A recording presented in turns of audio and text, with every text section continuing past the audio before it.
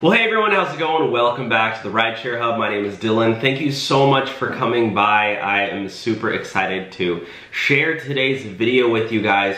We have a very um, serious video and we are looking at some new statistics for rideshare drivers and in my opinion, there is no way, no possible way that Uber and Lyft driving is going to be feasible in one, two, three years I just kind of see it fizzling out and I'm gonna explain why in today's video. So thumbs it up if you do enjoy these types of videos.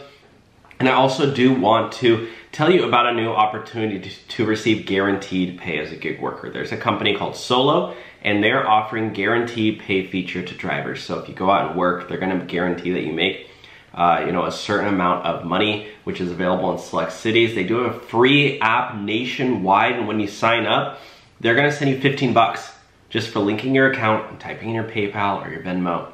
You'll get that money. So let's get started. This is very, very uh, serious. Um, yeah, so there's a new report that just came out that average monthly car payments have reached a record high, topping $700 Feeling the crunch, they are struggling to even get cars on the lot right now, and their customers are lucky. Uh, customers lucky enough to find a vehicle. They're facing payments at an all-time high. News 5's Catherine Ross explains what's behind the rising costs and how long it could take before Northeast Ohioans see relief. Jennifer Neiman and her husband liked their new car, but it wasn't necessarily their first choice. We would have loved to have just picked out the perfect car, um, but we were willing to just say good enough. and we were just happy. So she said, I couldn't find a good enough car, or you know, I couldn't find my dream car, so I just bought a quote, good enough car for $700 a month car payment. That is more than the cost of rent in many areas to, to uh, rent a home, let alone a car, and let alone a car that you don't barely even like. I mean, this is getting absolutely ridiculous, my friends. How does it, how does Uber and Lyft justify uh, outsourcing that expense, the car expenses to drivers, while not even increasing the fares for drivers? Drivers I literally cannot understand how some drivers are making any money at all right now.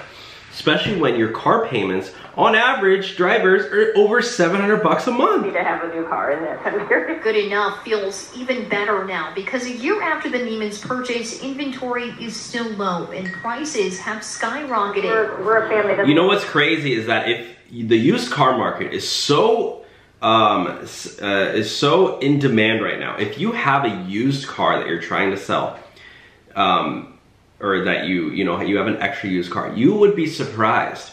You could get maybe double of what your car was worth a year ago.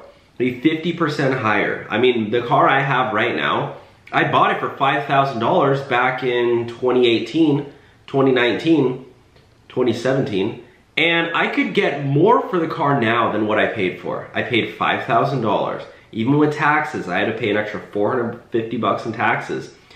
I could probably sell that car right now for $7,000. It's absolutely crazy. And the car has 160,000 miles on it. But literally people are, the cars under $15,000 are in super high demand right now. So you, if you have an extra car laying around and you, you know, you've uh, put off selling it, Go sell the dang thing. Fix it up, clean it yourself, make it, get it running, and that thing will, you, you know, as long as it runs, you could probably get a few thousand miles for it. Put it up on Facebook Marketplace. Do not trade it into a dealership because they will rip you off. Take on too much debt um, and that's a large bill. Now, according to the U.S. Bureau of Labor Statistics, the cost of a new car has gone up almost 13% in the past year, and the cost of a used car is up more than 16%. But at the same time, that's a very interesting uh, blouse that she has on. Those, it looks like um, curtains. Not my particular style, but she does pull it off. And demand for those cars is also going up. We were seeing increased pricing and increased cost. Okay, this editing, come on guys. What is this? Microsoft Paint 1995? Come on. For automobile ownership much earlier than was he supposed to be inside the car? He's they edited him to be inside the car except he has a bookshelf behind him with helmets on top. The issues and a ceiling. facing today with interest rates going up, fuel prices going up. Lou Vitantonio, the president of the Greater Cleveland Automobile Dealership Association, They just cut him off completely. You can't even understand what he's saying. says prices were already rising because labor, manufacturing, and in turn supply were all way down during the pandemic. Dealerships like Great Lakes Hyundai and Streetsboro are feeling that crunch. All right, guys, I'm gonna end the video there, but I do want to hear from you. How much is your car payment? I want to be have you guys comment down below.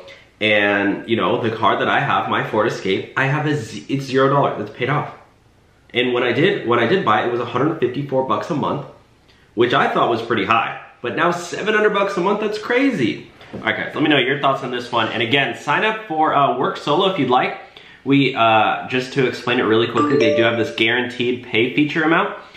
Uh, so if you go out and drive from 10 to 11 a.m. and you don't make, you know, they're gonna basically guarantee that you make that $37. So they do have um, a free nationwide app that you can sign up. And again, when you sign up, you're gonna get $15. And just to be fully transparent, the guaranteed pay feature amount the guaranteed pay fee is only available in these areas. However, when you do sign up in a different area, you're going to help them be able to expand to new areas, right? Because this free, this is nationwide, this part, um, and this one is nationwide as well, but this one is only available in select cities. They basically need new data in new cities, so go check it out. Harry Campbell from the Rideshare Guy is, um, he is uh, an investor and an advisor in the company. You can even see him here on the homepage. It was pretty awesome. So anyways, check out the link below for Work Solo, guys, and uh, I'll talk to you soon. Bye now.